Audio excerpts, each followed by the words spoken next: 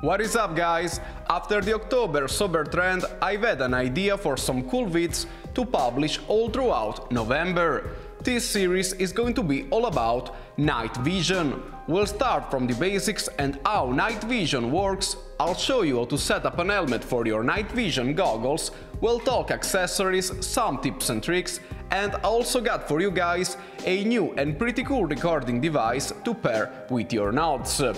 Finally, I'll blast out some footage from a live fire, night combat training and possibly from a milsim game I'm attending halfway through this month. We are going pitch black for this series, so brace yourself and let's kick in Nightvember. Oh, and by the way, kick my ass in the comments below if you think this name is stupid.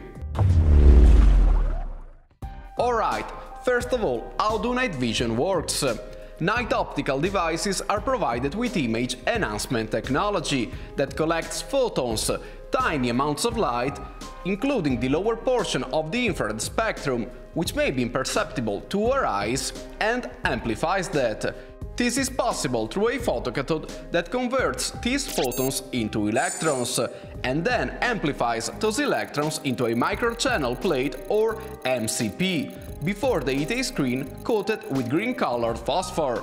By maintaining the exact position of the photons going through the MCP, the converted electrons are then multiplied and, when they hit the screen, this energy excites the phosphor, releasing photons, creating a visible green U image. Basically, you are not looking at the image itself, but rather a recreation of it. Also, the phosphor screen is purposefully colored in green because the human eye can differentiate more shades of green than any other phosphor color. The history of night vision is not even 100 years old and has its origins in the military seeking to give troops an advantage, making them able to see at night. During World War II, the Germans successfully developed night vision systems for their Panther tanks, and even a portable NVD called Vampire. Both US and Soviet Union developed similar solutions in parallel, Yet, these devices still required a good amount of infrared light to work and they were very large, bulky, with limited range, to say the least. The first generation of night vision came during the Vietnam War. Finally, these devices were able to operate just with ambient light, by amplifying it by a factor of 8000. One example of such devices is the Starlight Scope. Gen 2 and Gen 2 Plus NODs made further improvements from the previous generations, as far as light amplification, image resolution and reliability but these devices are still very limited with rapidly changing lights. Finally came the third generation, which is the latest known night vision technology, with a 30,000 to 50,000 light amplification and a much reduced power consumption, gallium arsenide in the photocathode and an ion barrier coating of the MCP, which increases longevity of the components. Also, these advanced devices are provided with auto-gating functions.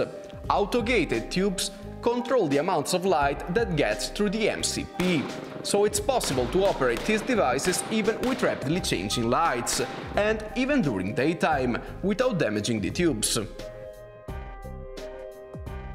So the obvious question is, what should I buy?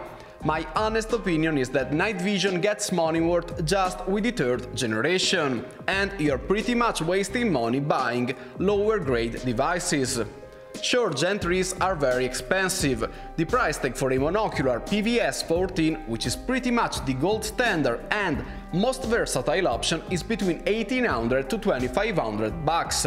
But if you're serious about night vision, spare some more and get a proper Gen 3 node. Otherwise, you'll be spending this kind of money plus the amount you wasted before. If you think you'll never have this kind of money, then I much rather invest in a good white light system, such as a Surefire.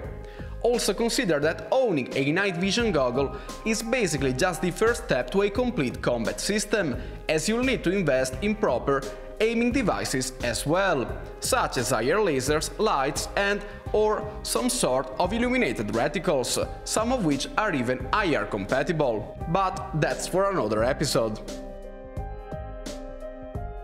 How you'll be using your night vision device, that's pretty much up to you.